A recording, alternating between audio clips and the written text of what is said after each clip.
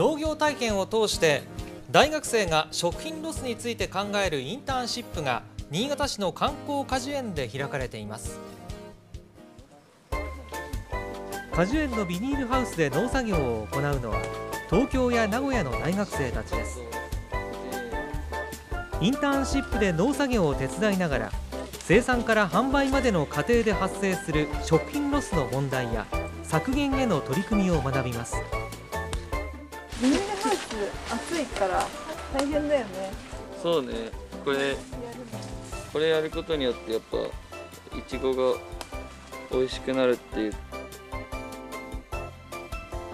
このインターンシップは県と新潟市による食品ロス削減に向けた普及啓発活動の一環で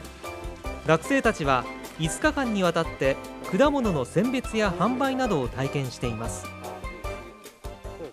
いちごだと傷んだものはジャムにするとかそういうなんか改善方法というかフードロス対策されてるんだっていうのを、まあ、身近に感じています。学生たちは本来捨てられるいちごのつるを活用するアイデアについて聞いてみました。リースとか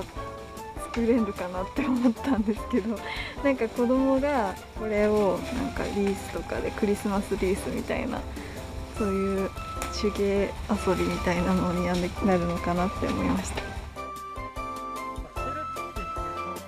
この日は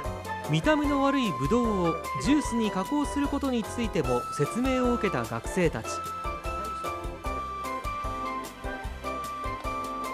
食品ロス削減の取り組みを最前線で体験しました。甘い。甘い。めちゃくちゃ甘い。再利用されてるっていうか新たな形でなんかうまくで変わってるのってすごいあの取り組みとしてすごい素敵なことだなっていうふうに思いました。県や新潟市は今後もこのインターンシップを続けていきたいとしています